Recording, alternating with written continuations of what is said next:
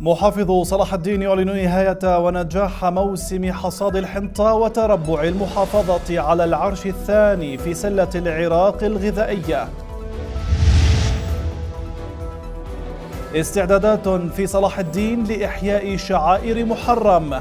وأسعار الأنبرات الأهلية تتجاوز العشرين ألف دينار وتزيد لهيب تموز العراقيون يرفضون استغلال المحطات التاريخية للتغطية على فشل الأداء السياسي ومجالس المحافظات في مرمى النيران الصديقة. ضغوط التنسيقي الشيعي تحرج البرلمان بشرعية المناصب الإدارية في نينوى وكركوك وديالى وتفكيك شبكة للإتجار بالبشر في النجف. من عناوين النشرة إلى التفاصيل والبداية من انتهاء حملة حصاد محصول الحنطة أهلا بكم. حيث أعلن محافظ صلاح الدين بدر محمود الفحل عن نجاح الموسم التسويقي في المحافظة مؤكدا أن الكمية المستلمة خلال هذا الموسم بلغت 888 ألف طن متجاوزة التقديرات المسبقة. وقال إن المحافظة سجلت المركز الثاني على مستوى العراق بعد نينوى هذا الموسم والتي فاقت توقعات العام الماضي بعد أن خصصت الحكومة المركزية أكثر من 614 مليار دينار لدعم الموسم. وتقدم المحافظ بالشكر والتقدير للشركة العامة لتجارة الحبوب فرع صلاح الدين ودائرة الرقابة التجارية ومديرية الزراعة ومديرية الدفاع المدني والأجهزة الأمنية بالمحافظة على الدعم والإسناد الذي قدموه لإنجاح الموسم التسويقي.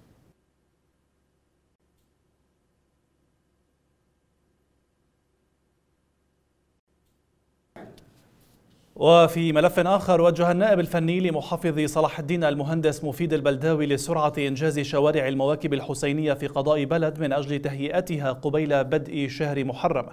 وفي الجولة التي أجراها ورافقه فيها مدير بلدية بلد حسين علي تم التأكيد على ضرورة إنجاز المشاريع جميعها وفقا للمواصفات المطلوبة.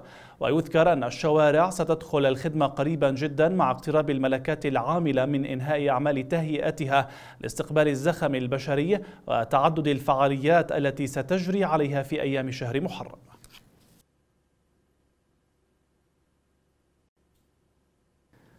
وتجري في قضاء بلد استعدادات حكومية وأهلية لضبط الطرق وعمل المواكب الحسينية لاستقبال شهر محرم. عبد الجبار مهدي والتفاصيل.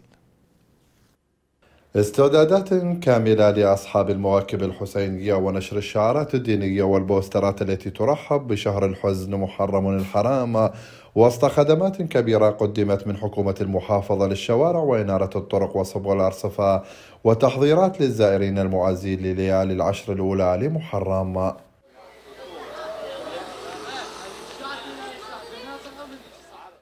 طبعا سنويا كل محبي أهل البيت لا سيما مدينة بلد المقدسة التي تقدست بمدينه سيدنا محمد عليه السلام تسعى هذه الجهود الحثيثة المباركة القوية لخدمه الحسين سلام الله عليه. وهذه طبعا هي تطوعيه حقيقة الشباب الشياب لا حتى الأطفال. زين؟ نلقاهم تطوع ذاتي ليلا ونهار وإحنا صار لنا أكثر من 15 يوم صراحة. آه، نحاول إنه نقدم شيء الأجمل شيء الأفضل للحزن للخدمات التي نقدمها للناس. لأنه تدري أنت كما تعلم آه، ضيوف يجونا من شتى المحافظة.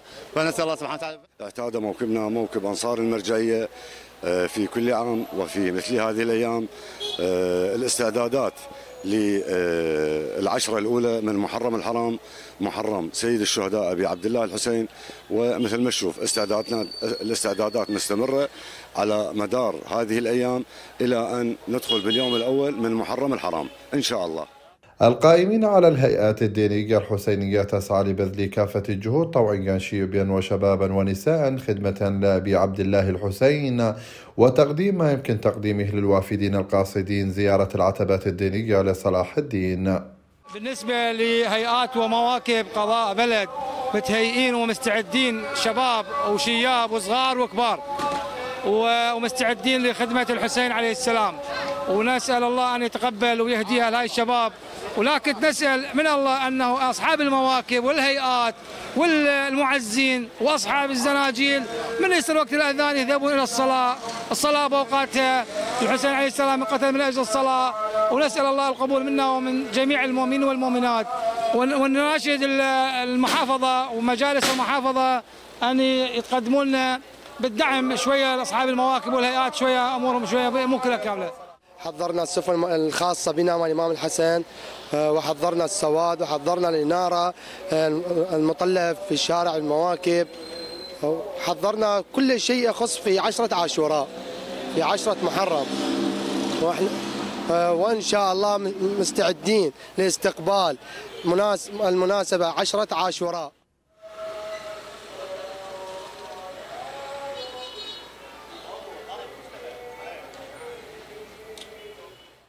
استعدادات وتحضيرات على مدار 15 يوما لضبط هيكلة المواكب الحسينية وعمل السرادق وتهيئة المأكل والمشرب على طول الطرق المخصصة لطقوس وأحياء ليالي محرم الحزينة. من قضاء بلد عبد الجبار مهدي قناة صلاح الدين الفضائية. وفي الدجيل حيث أعلنت الحكومة المحلية وأصحاب المواكب الحسينية بالقضاء استكمال الاستعدادات لتقديم الخدمات للمعزين بشهر محرم من أهالي القضاء والوافدين من خارجه. المزيد مع فضل الأنصاري. مع قدوم شهر محرم الحرام وما ترافقه من طقوس دينية دفعت الجهات الحكومية بقضاء الدجيل باستنفار جهودها لاستقبال هذه المناسبة وإنجاح مناسكها. فالاستعدادات الأمنية والخدمية والصحية باتت معالمها واضحة في المدينة التي هي الأخرى توشحت بالسواد لاستقبال شهر محرم الحرام. بالمناطق كما منطقته يقومون بإحياء المواكب نصب المواكب نزول مواكب الزنجيل تقديم الخدمات للمعزين اعتبار عن إحياء ذكرى. كمن منطقته بالعشرة الأولى. بالنسبة للعشرة الثانية والثالثة نقوم باستقبال الزوار الوافدين من الخارج ومن الداخل. إحنا بالنسبة لنا هنا كموكب رايه الحسينية العشرة الأولى نقيمها بداخل القضاء. ننصب بداخل القضاء الموكب ونقدم الخدمات اللي نقدر نقدمها من مشروبات باردة ومأكل وتعزية المعزين واستقبالهم اللي يمرون من خلال الطريق المؤدي إلى ساحة فلة المواكب. اليوم كأصحاب مواكب خدمية أكملنا كافة استعدادنا الخاصة بشهر محرم الحرام وتقديم ونقوم بتقديم كافة الخدمات للمعزين وأصحاب المواكب الزنجيل ونحن ملتزمين بكافة التعليمات الصحية والإجراءات الأمنية التي وضعتها الحكومة المحلية بقضاء الدجيل فيما أكد مسؤول وحدة المواكب الخدمية في القضاء أنه تم وضع خطة تنظيمية محكمة لمواكب الزنجيل لتسهيل انسيابيتها طيلة أيام العشر الأولى من شهر محرم الحرام. فضلا عن ذلك سيتم نشر العشرات من المواكب الخدمية التي ستقدم للمعزين كل ما يحتاجونه. أكملت وحدة الشعائر والمواكب الحسينية في محافظة صلاح الدين قضاء الدجيل الاستعدادات بوضع خطط أمنية بالتعاون مع الأخوة قادة الأجهزة الأمنية والإدارة المحلية في أديجيل والدوائر الخدمية آه، التي كلفت بمهامها بخدمة هذه الشعيرة المقدسة. واليوم المواكب الحسينية في مدينة الدجيل آه، نصبت سرادق العزاء لأكثر من 250 موكب. وأيضا هناك مواكب عزاء مواكب زنجيل ستقدم العزاء آه، ليلا آه، خلال العشرة الأولى من محرم.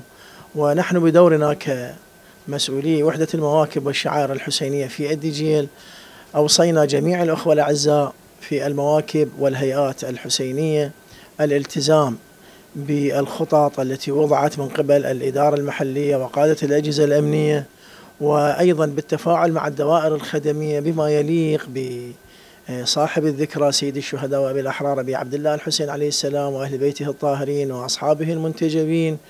ونسأل الله تعالى أن تكون هذه المحافظة الكريمة بأمن وأمان واستقرار.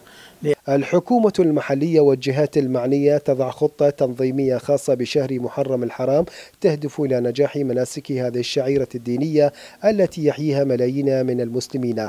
لقناة صلاح الدين الفضائية فاضل الأنصاري قضاء الدجيل وفي ملف ذي صلة أقامت الهيئة العليا للحج والعمرة مكتب صلاح الدين احتفالا بمناسبة حصول العراق وللعام الثاني على التوالي المركز الأول في جائزة لبيكم المقدمة من المملكة السعودية في التنافس على خدمة حجاج بيت الله الحرام. ويذكر أن الحجاج العراقيين الأكثر انضباطا وتنظيما من بين دول العالم خلال أداء مناسك الحج وهو ما أدلى به العائدون من حجاج العراق خلال العام الماضي والحالي واللجان المرافقة لهم.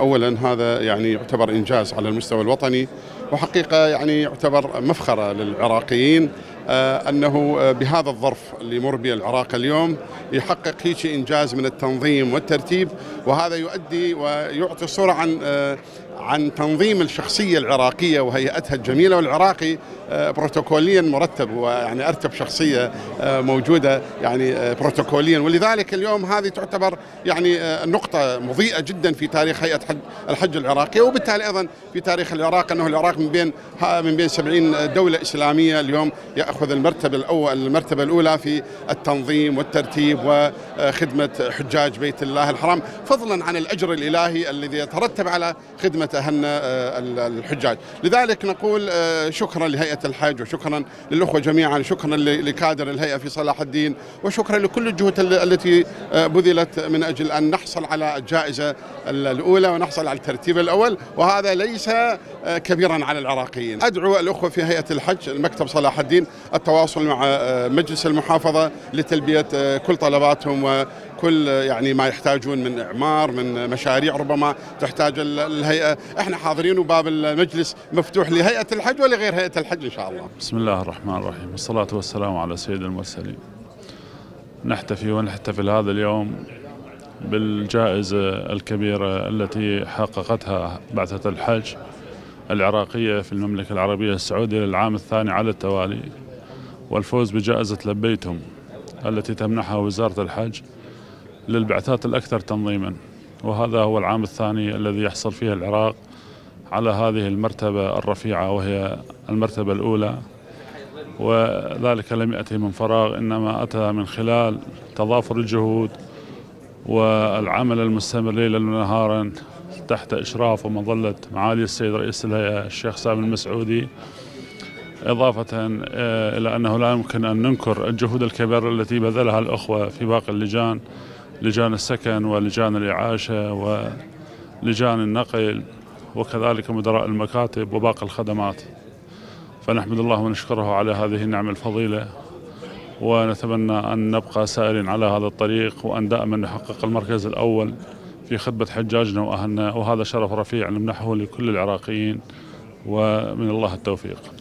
بسم الله الرحمن الرحيم والصلاة والسلام على أفضل الأنبياء المرسلين سيدنا محمد وعلى آله وصحبه الطيبين الطاهرين. طبعا الحمد لله والشكر.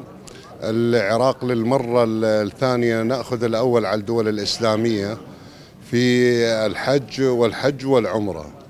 هذه طبعا من من المسبقات لنا والتحضيرات التامة التي قامت بها الهيئة العليا للحج والعمرة العام الماضي والعام الحالي.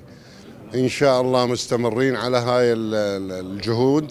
إن شاء الله والعراق راح ياخذ المرة الثانية والثالثة والرابعة إن شاء الله بجهود الهيئة العليا وبجهود الشيخ سامي المسعودي وبجهود مدراء المكاتب وبجهود المتعهدين والمرشدين الدينيين.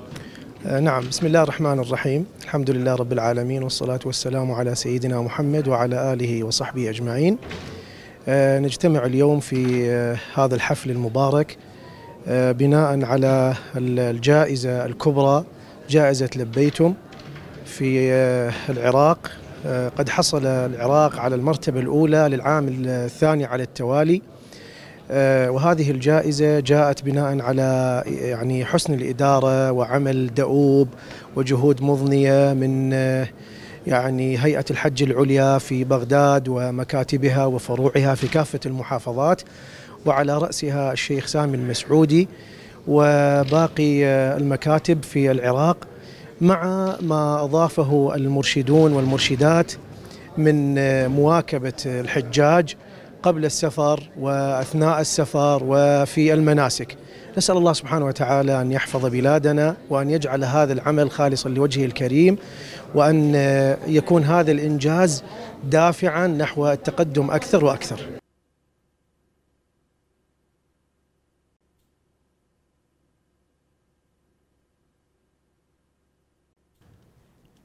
وإلى فضاء الكهرباء حيث سخونة الأجواء والأسعار تحاصر جيوب الأهالي وتزيد من متاعبهم فقد طالب أهالي صلاح الدين الحكومة المحلية مراقبة عمل المولدات الأهلية بعد زيادة حصص الوقود وذلك مع تلميحات إلى وصول سعر الأمبير إلى 16 ألف دينار في بعض المناطق وعدم استبعاد وصوله إلى 20 ألفا في الشهرين المقبلين. المطالبات الشعبية شملت أيضا الموازنة بين أسعار الخط الاعتيادي والذهبي لأن الغالبية العظمى منهم غير قادرة على دفع التكاليف وهي بحاجة ماسة للكهرباء ما يتطلب مراعاة أوضاعهم واحتياجاتهم في الشهرين المقبلين من فصل الصيف.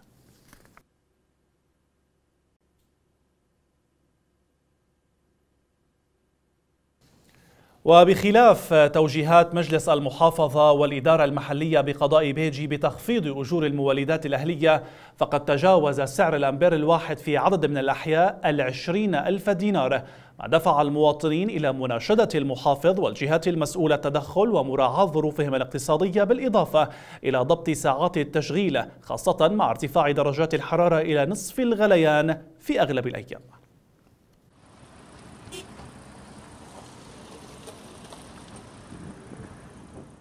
حقيقة موضوع المولدات في قضاء بيجي موضوع عقيم.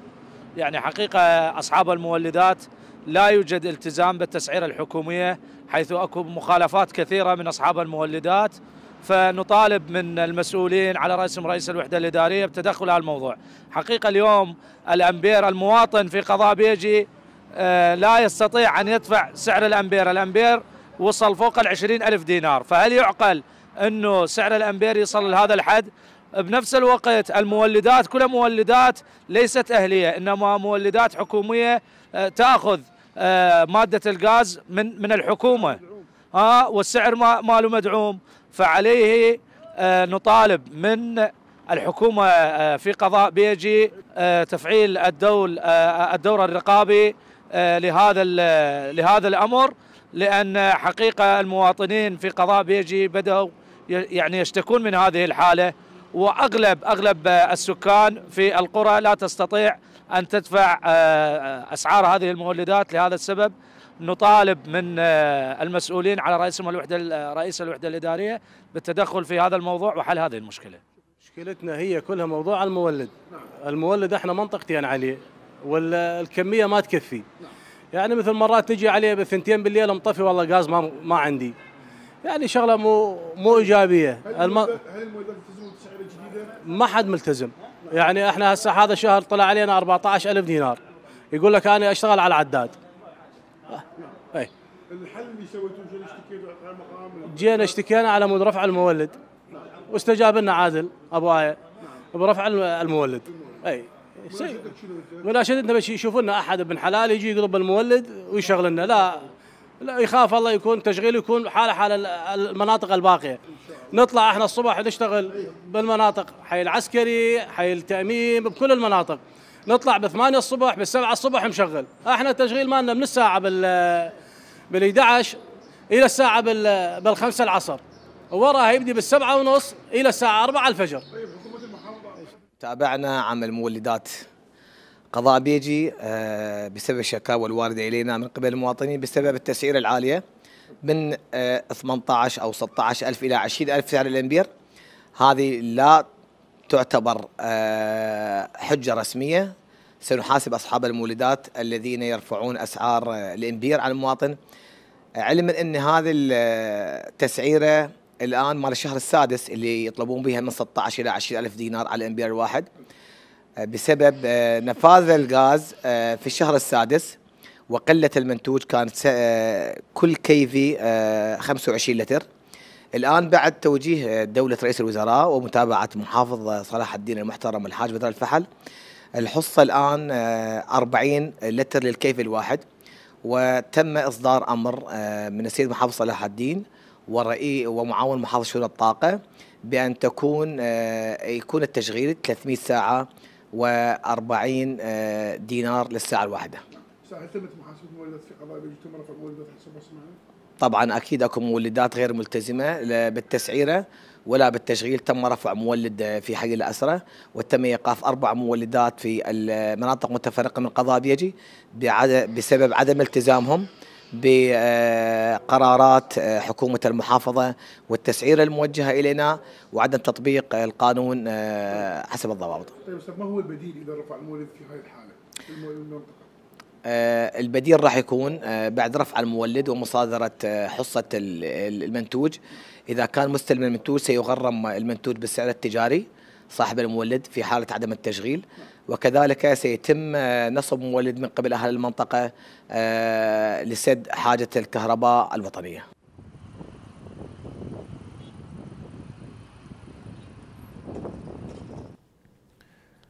وخلافا للعهود التي تطلقها الإدارات المحلية سنويا حيث ارتفاع سعر الأمبير في المولدات الأهلية يكشف زيف التعهدات في حل أزمة الكهرباء وزيادة ساعات التجهيز اليومية. وفي خضم الصعوبات المعيشية اشتكى أهالي السامراء من مفاقمة أجور المولدات الأهلية للأوضاع الاقتصادية لدى أغلب الأسر. داعين القائم مقام الجهات المعنية إلى إعادة النظر في الأمر ووضع حلول تخفف من أعباء الأهالي.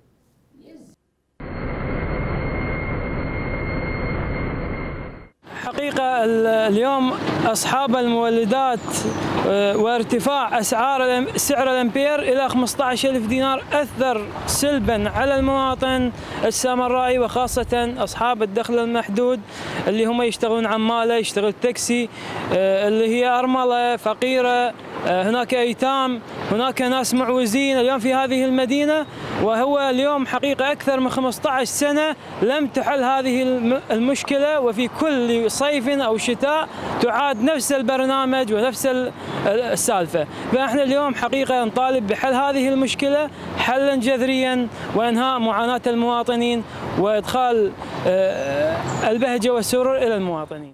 المولدات يعني نريد منك 40000 وأنت وأنت فاين حظك قاعد بالتجاوز. آجار 100 جهاله برقبتك. شغل ماكو. يعني شلون الحل؟ ما أدري. المصايب شنو هاي ما أدري. الربع حصر علينا. يعني والله ما أدري شلون الحل يريد منك 40000 أنت ما نجيب ال 40000 وهذا شغل ما يفيد. نوب تشتغل نوب قاعد. نوب تشتغل نوب قاعد. الامبير ب 15000 إيش دعوة ب 40000 والله ما يصير. هو فاين حظ المواطن. منعود سلفة سلفة. نناشد قيم مقام مدينة سامراء. على أهل المولدات لأن الأمبير بهذا الشهر يعني حيل عالي سعره. 15 الأمبير. دفعنا إحنا 15 يعني جو لنا دفعنا 15 مجبورين. ونناشد رئيس الوحدة الإدارية أن يتابع هذا الموضوع لأن هو المفروض 10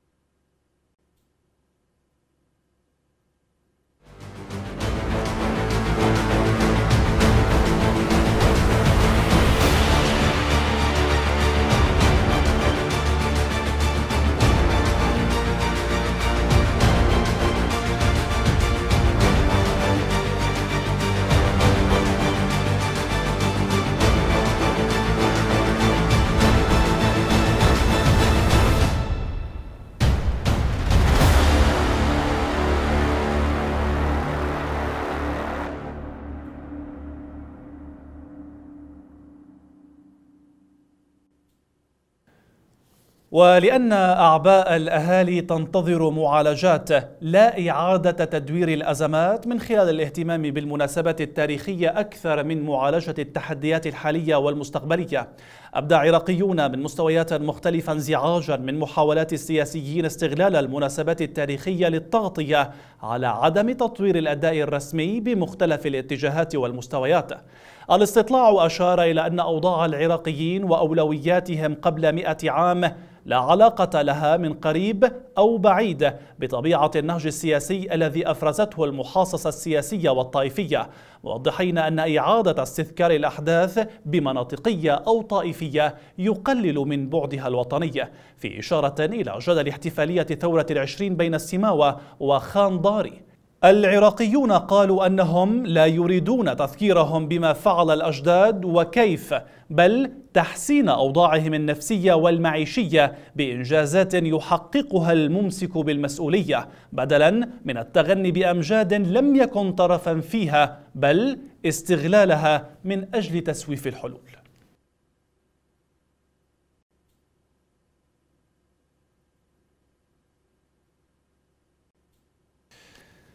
ويتساءل العراقيون عن دوافع تحريك الراكد من خلال التذكير بأحداث تاريخية صنعتها وحدتهم قبل مئة عام لا شتاتهم الذي فرضته توازنات السياسة الجديدة وعجزها الواضح عن تحسين ظروف العيش على مختلف المستويات واستنساخ خيبة المعالجات وأشاروا إلى أن الماضي مهم جدا عندما يتحول إلى محور إبداع لتطوير الحاضر لكنه يتحول إلى عبء في استغلاله للمرور خلف كواليس الحقيقة.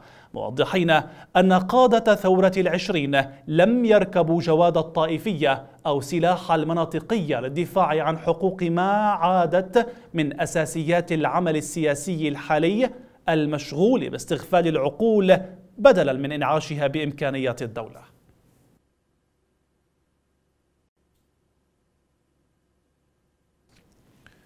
وضمن خارطة مفتوحة من السجالات قررت الهيئة التنسيقية بين المحافظات أن يكون هناك اجتماع دوري تجتمع فيه مجالس المحافظات للارتقاء بمستوى الخدمات. تحدثت عن مجموعة من الأولويات سيجري العمل بها في الفترة المقبلة وأهمها تعديل قانون مجالس المحافظات والتحول الرقمي لمجالس المحافظات أيضاً.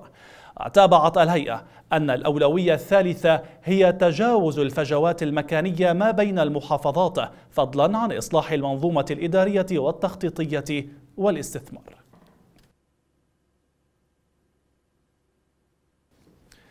وفي سجلات المحافظات نفى مكتب رئيس مجلس النواب بالنيابة محسن المندلاوي صدور أي تعليق أو قرار بخصوص خارطة المناصب لمجلس محافظة نينوى. فيما أكد النائب عن نينوى شيروان الدبرداني صحة القرار الصادر عن رئاسة المجلس. يأتي ذلك بعد تسريب كتاب بتوقيع المندلاوي موجه لرئيس مجلس نينوى يدعو فيه إلى إلغاء جميع القرارات المتخذة في الجلسة كونها قرارات باطلة ومخالفة للقانون وتستدعي تحريك دعوى جزائية. الدبرداني قال إن بعض القيادات في الإطار التنسيقي مارست ضغوطا على رئيس مجلس النواب بالنيابة لينفي صدور الكتاب المتداول عن مكتبه منوحا لاستمرار الدفاع عن القانون وعن حقوق أبناء نينوى واعتبار جلسة مجلس المحافظة الأخيرة غير قانونية.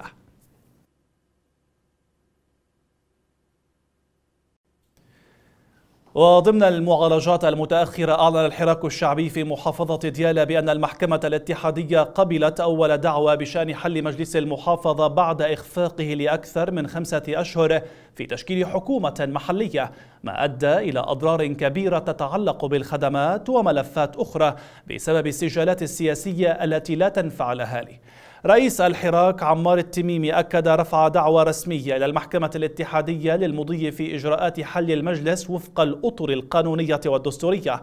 لافتا إلى أنه في حال لم يحضر أعضاء المجلس المحكمة خلال الفترة القانونية المحددة ستصدر المحكمة قرارها خلال 15 يوما مؤكدا بأن أي قرار يصدر من المحكمة. سيتم التعامل به بشكل فوري إيمانا بعدالة القضاء العراقي وحرصه الشديد على تطبيق مضامين القانون والدستور.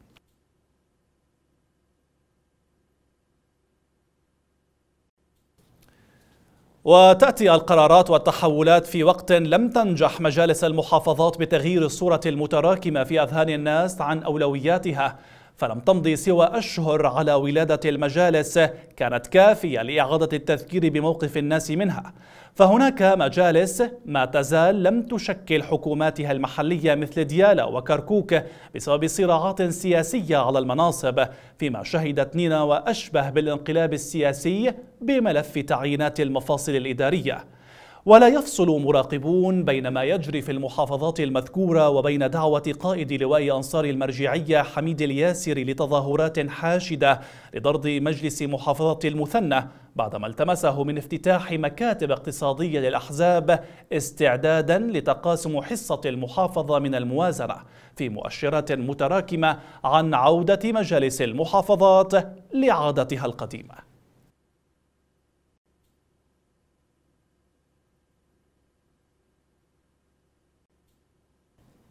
ولأن الأداء العام ليس بمستوى الحد الأدنى من المقبولية لأن لجان مجالس المحافظات منشغلة بحسابات السياسة أكثر من تفرغها لخدمة الناس وهو ما يعززه غياب المعالجات لجميع الملفات المتعلقة بالحقوق في المناطق المحررة قبل غيرها.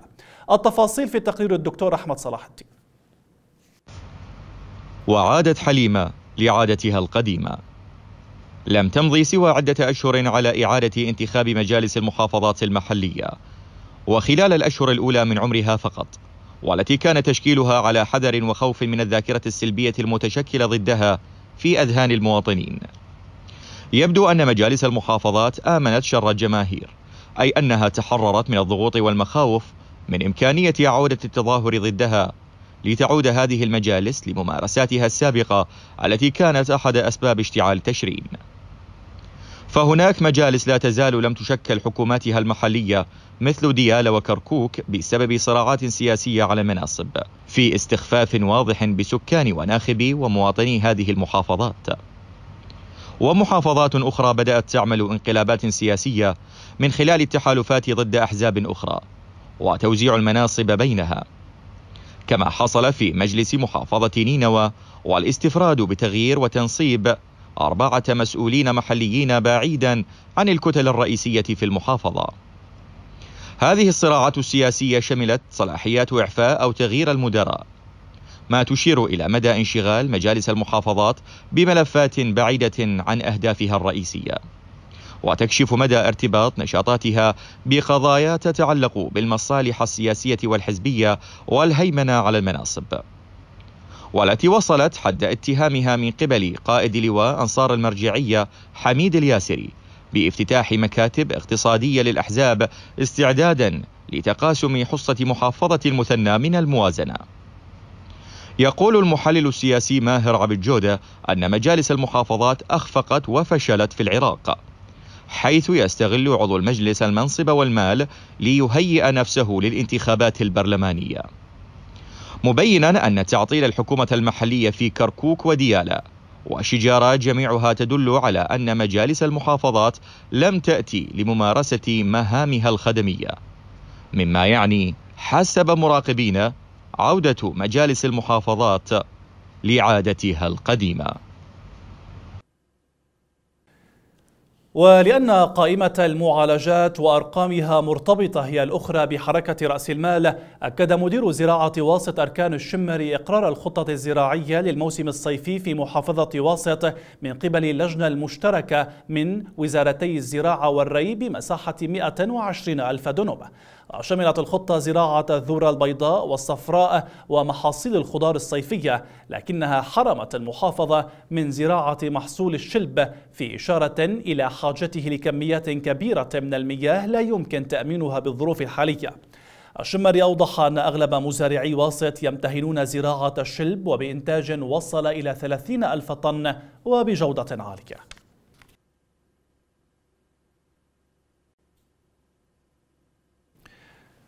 وفي لغة الأرقام أيضا أشر الخبير الاقتصادي صلاح نوري علاقة مباشرة بين الحظر الأمريكي على روسيا وإيران وسوريا وعدم استقرار سعر صرف الدولار بالأسواق العراقية.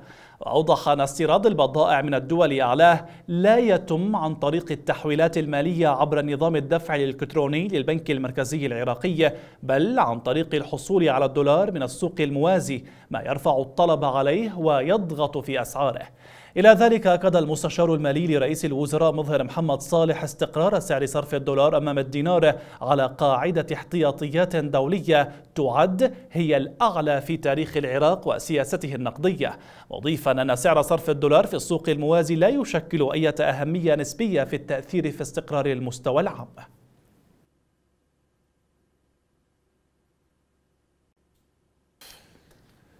وعلى الجانب الآخر من تنافس الأرقام والمعطيات أكد مدير مكتب الأمم المتحدة المعني بالمخدرات والجريمة في العراق علي فاروق أن حدود العراق ذات أهمية كبيرة لعصابات المخدرات للوصول إلى ممرات التهريب الدولية مشيرا إلى أن مكتب الأمم المتحدة يدعم السلطات العراقية في مكافحة هذه العصابات.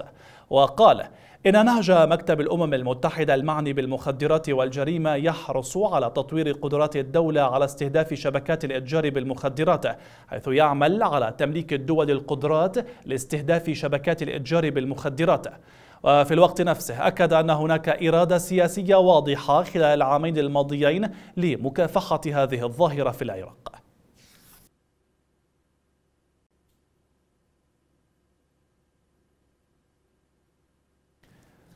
وفي التحديات الاجتماعية أعلنت دائرة صحة محافظة ميسان تسجيل أول حالة وفاة بمرض الحمى النسفية خلال العام الحالي. مدير إعلام صحة ميسان محمد قاسم قال إن الفحوصات المستفيضة في بغداد أكدت الإصابة ما يعني أنها أول حالة وفاة رسمية بالمرض بعد تماثل 26 آخرين للشفاء. وأشار إلى أن ميسان هي الأقل في معدلات الإصابة قياسا بمحافظات الجنوب والوسط مؤكدا بأن دائرته اتخذت سلسلة إجراءات وقائية من أجل منع أي إصابات عبر برامج توعوية بالإضافة إلى التنسيق مع البيطرة في الإجراءات الوقائية العاجلة حول منازل المصابين.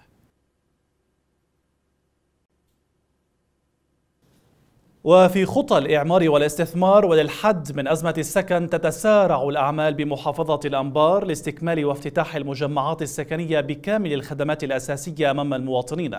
وتجد تلك الوحدات السكنية وخاصة الأفقية إقبالا واسعا من قبل الأهالي. وتساهم الحكومة المحلية في دعم هذه المشاريع كأولوية في توفير السكن لأبناء المحافظة.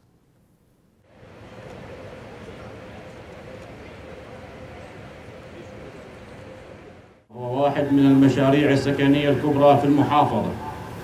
متمنين لهذا المشروع والمشاريع المماثلة. كل التوفيق والنجاح. إن هذا الحدث البارز يمثل خطوة مهمة على طريق إعمار وتطوير المحافظة.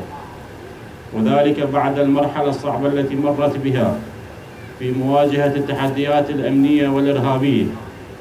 كما سيسهم بالنتيجة في جذب المزيد من الاستثمارات. في مجالات الإسكان والزراعة والصناعة وغيرها. وبالتالي المساهمة في تحقيق التنمية المستدامة في الأنبار وتقدمنا في مركب الاستثمار وتقدمنا بطلب أول إجازة استثمارية في محافظة الأنبار لمشروع فريد من نوعه راهن الجميع على فشله في ذلك الوقت. فتمتعنا بالقوة والإرادة والتصميم يسبقها توفيق الله تعالى ورعايته فكان مجمع الفاروق السكني الأول واحد من درر الأنبار.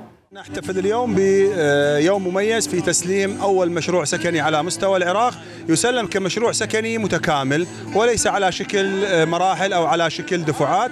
يتميز هذا المشروع بأنه مشروع موجه إلى الطبقة المتوسطة وشريحة الموظفين.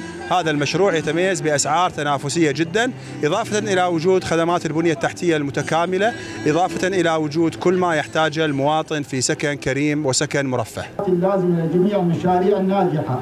وجميع الشركات الرصينة لبناء المحافظة. وبينما تصدرت مدن عراقية قائمة أعلى درجات الحرارة في العالم بمستويات فوق نصف الغليان ما زالت الظواهر الطارئة تزيد من معاناة الكهرباء والماء والأمن وخصوصية المكان. حيث أعلنت وكالة الاستخبارات والتحقيقات الاتحادية إلقاء القبض على شبكة دولية للمتاجرة بالأعضاء البشرية في محافظة النجف. بيان الوكالة أشار إلى رصد مؤسسات مكافحة الجريمة المنظمة في المحافظة معلومات استخبارية دقيقة تفيد بوجود متهمين لهم ارتباطات مع أشخاص في الدول المجاورة يقومون بالمتاجرة بالأعضاء البشرية كالكلى مقابل مبالغ مالية. وأكدت نجاح الفريق الاستخباري بالقبض على ثلاثة متهمين من الشبكة اعترفوا صراحة بانتمائهم لشبكة دولية للمتاجرة بالأعضاء البشرية مقابل مبالغ مالية.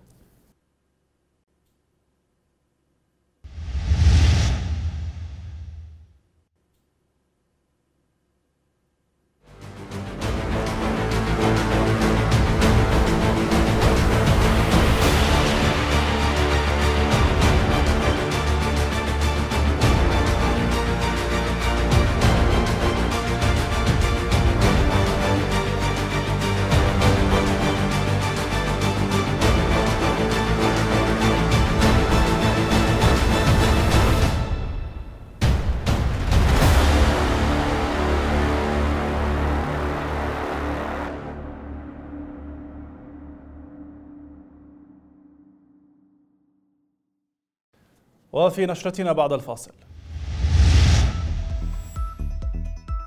مسرور برزاني يبحث مع رئيس تيار الغد السوري آخر مستجدات وتطورات الأوضاع العامة في العراق وسوريا والمنطقة.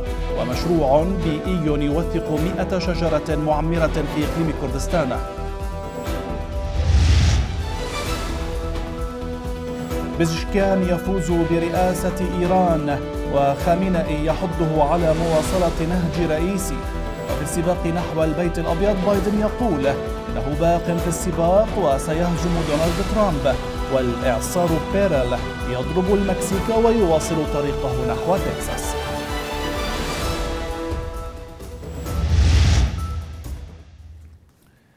استقبل رئيس حكومة إقليم كردستان مسرور برزاني رئيس تيار الغد السوري أحمد الجربة وتناول اللقاء بحث آخر مستجدات وتطورات الأوضاع العامة في العراق وسوريا والمنطقة. كما شهد اللقاء تأكيدا على أهمية الحوار والتفهم لحل مشاكل المنطقة. أعلنت منظمة محبي البيئة في السليمانية عن استكمال مشروعها المتوقف منذ العام 2021 والخاص بتحديد أكبر مئات شجرة معمرة. وقال هزار عبد الله رئيس المنظمة في مؤتمر صحفي إن المشروع يهدف إلى الاهتمام بهذه الأشجار وعدم التجاوز عليها من أي جهة كانت ولأي سبب كان. وأكد أنه خلال العام 2021 تم تحديد حوالي 12 شجرة معمرة في ناحية خورمال يعود عمرها لأكثر من 300 عام وأخرى في السليمانية تعود لأكثر من 400 عام. وحسب البيانات المتوفرة هناك أشجار معمرة يعود عمرها لنحو 500 عام. پرۆژەیەکەوە کە ئەبێت پارێزگاریان وەکو ئەرکێکی نیشتیمانی هەمومان تەماشایان بکەی فاز المرشح الإصلاحي مسعود بزشكيان في الجولة الثانية من الانتخابات الرئاسية الإيرانية متفوقا على المتشدد سعيد جليلي. أشارت نتائج فرز الأصوات التي قدمتها السلطات إلى فوز بسشكيان بحصوله على 16.3 مليون صوت مقابل 3.5 مليون صوت لجليلي. قالت وزارة الداخلية الإيرانية إن 30 مليون شخص شاركوا في الانتخابات التي أجريت من دون مراقبين دوليين معترف بهم. قال المرشد الإيراني علي خامنئي في بيان إن الانتخابات الرئاسية حرة وشفافة. نصح الرئيس المنتخب بمواصلة نهج الرئيس الراحل إبراهيم رئيسي بالموارد البشرية الشابة والثورية والمؤمنة. وأضاف أن المرشحين وداعميهم يشتركون في ثواب مواجهة دعوات مقاطعة الانتخابات. ويأتي الفوز في لحظة حساسة حيث التوترات عالية في الشرق الأوسط بسبب الحرب الإسرائيلية على غزة وبرنامج إيران النووي المتقدم وانتخابات مقبلة في الولايات المتحدة قد تعرض أي فرصة للتقارب بين طهران وواشنطن للخطر.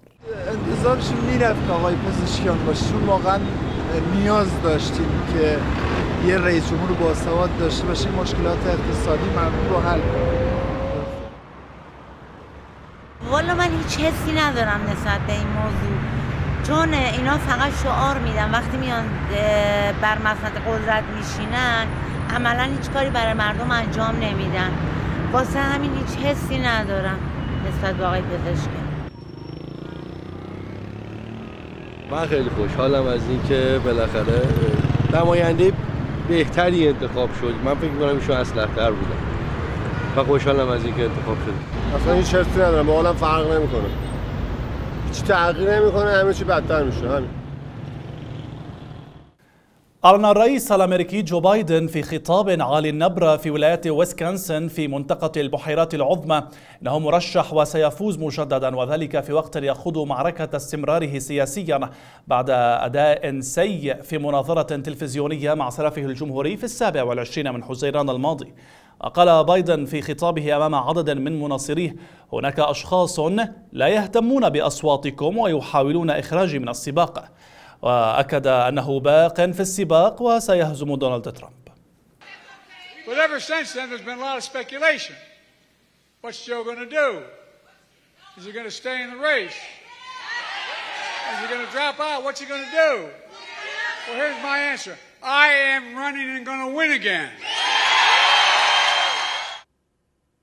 ضرب الإعصار بيريل المكسيك بعدما أوقع سبعة قتلى في الكاريبي وفنزويلا. ويترافق الإعصار مع رياح تصل في حدها الأقصى إلى 160 كيلومترا في الساعة. وتحدثت الأرصاد الجوية الوطنية في المكسيك عن إعصار من الدرجة الثانية على سلم من خمس درجات مصحوبا برياح بسرعة 175 كيلومترا في الساعة وقد تصل إلى 220 كيلومتر مع ارتفاع أمواج يصل إلى ثمانية أمتار. ومن المتوقع أن يواصل الإعصار طريقه عبر شبه جزيرة يوكاتان ويعبر خليج المكسيك قبل أن ينتقل إلى شمال غربي البلاد ثم إلى ولاية تكساس الأمريكية.